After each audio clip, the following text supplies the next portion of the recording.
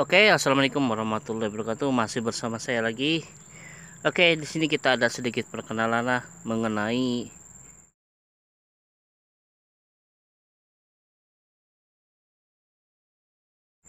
uh, pohon yang bisa dapat dibonsai, yaitu legundi ya. Legundi, legundi ini sangat bagus sekali ya apabila kita bonsai karena daunnya juga bisa mengecil ya. Kalau di alam liar dia seperti ini ya dia terlihat seperti semak belukar ya. Tergabung dengan tanaman yang lain juga. Kalau kita lihat ya untuk jenis legundi ini dia punya ciri seperti ini ya. Oke kita lihat ya. Untuk daun ya. Dia mulus ya apa namanya eh, dasar dasar mulus ya untuk daunnya. Dan juga belakang ini agak keputih-putihan ya Nah ini untuk jenis legundi dan bunganya seperti ini ya.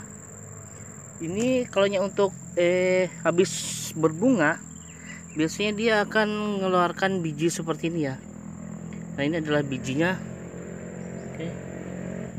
Ini biasanya ya eh, tanaman ini termasuk langka juga ya untuk kalau untuk di daerah eh, tanah bumbu Kalimantan Selatan ya. Jarang ada yang punya ini Oke, sekarang kita perhatikan untuk eh batang ya, batang.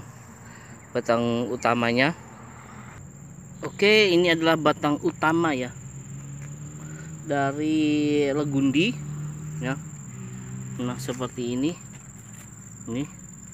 Ini kadang dia gepeng gepeng seperti ini ya. Nah, kadang juga dia bulat ya. Dia tergantung eh, kondisi tanah ya. Kalau ini tanahnya tanah berpasir ya. Nah tanah tanah pasir. Dia tumbuh. Oke dan dia sangat subur ini kayaknya. Oke untuk batang. Dan juga untuk legundi ya ini bisa kita kita stek juga bisa ya batang besarnya. Batang kecilnya juga bisa ya sangat mudah pertumbuhannya. Oke. Seperti ini dan juga nah seperti yang saya bilang ya biasanya dalam satu wilayah itu ya e, misalnya untuk jenis bonsai itu biasanya terdapat tanaman yang lain juga yang bisa di, kita buat bonsai ya. E, kalau di daerah sini yang ini biasanya tergabung sama wahong ya wahong juga ada di sini ya. Nah seperti ini nah itu ada wahong ya. Wahong biasa juga ada di sini misal saya ambil contoh ya. Nah ini.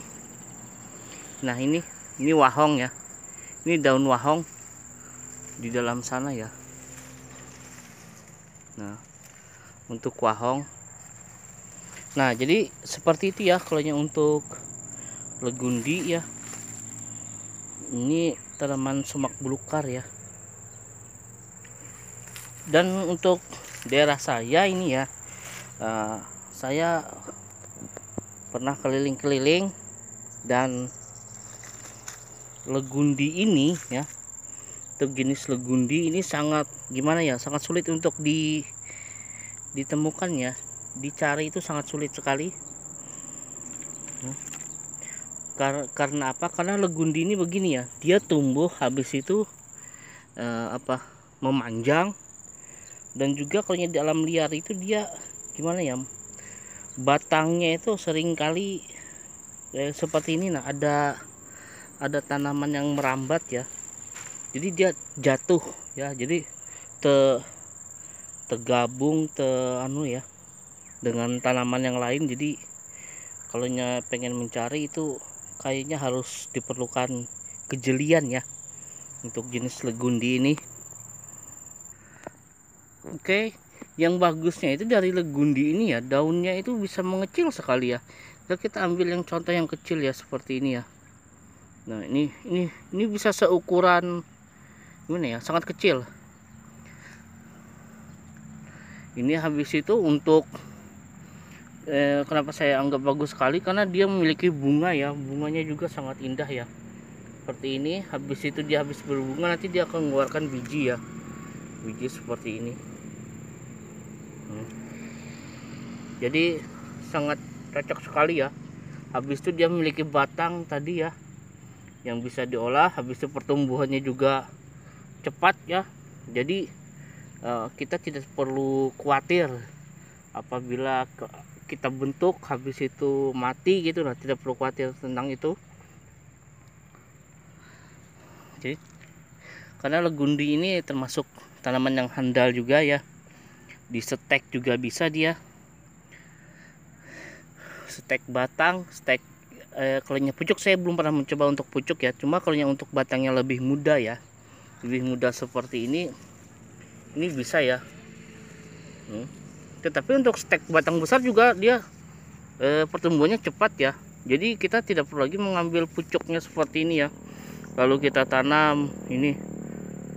Hmm.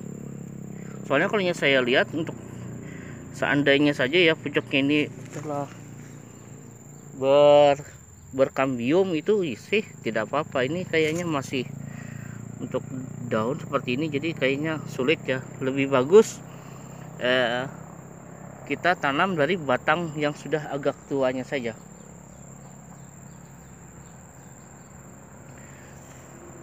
Oke jadi seperti itu untuk eh, jenis legundi ya. Legundi jadi untuk penampakannya seperti ini tanamannya ya. Oke. Nah. Untuk struktur daun ya. Dia ber bercabang ya bercabang tiga ya. Seperti ini. Oke. Dan juga dia berhadap-hadapan. Oke. Jadi sama seperti sancang jadi enak kita bentuknya. Oke. Oke apabila ada saran kritik atau komentar silahkan tulis di kolom komentar. Dan juga jangan lupa subscribe dan aktifkan tanda lonceng. Oke dan juga tanda like seperti ini. Oke wassalamualaikum warahmatullahi wabarakatuh